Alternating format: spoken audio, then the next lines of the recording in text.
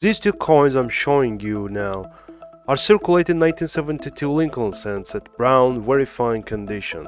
Pre-1982 pennies contain 95% copper, so it would be not fair to say that these are worth just face value, but even with copper melt values, they are worth less than a dollar. However, there are two factors that can make your 1972 penny worth good money. First is a numismatic grade. The second, presence of popular error variety. Hit subscribe button below this video and let's start with grades. The 1972 P Lincoln cent is very common up to MS65 condition and can still be found in circulation. Coins grading MS66 or higher can still be found in rolls or mint sets. Examples in MS67 are scarce with less than 100 known. There are also few known MS67 Plus graded examples, but none in any higher condition. This is the most expensive regular struck penny of that year so far. 1972 Lincoln cent at Day 67 Plus. This high-end superb gem exhibits razor-sharp definition on all design elements, and original red surfaces radiate vibrant mint luster.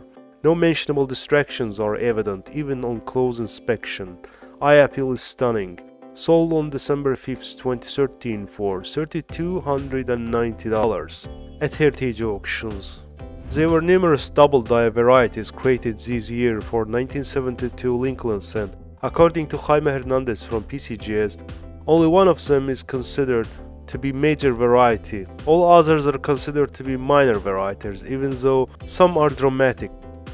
This is 1972 FS101 Lincoln Cent at Mint State 67 Plus Red, famous double die variety. The obverse legends exhibit a spread that approaches the famous 1955 FS101, meaning all letterings on front side are doubled, that can be seen with naked eye. The present crisply struck Superb Gem offers booming luster and unabraded orange-red surfaces sold on June 6, 2019 for $14,400 at Heritage Auctions.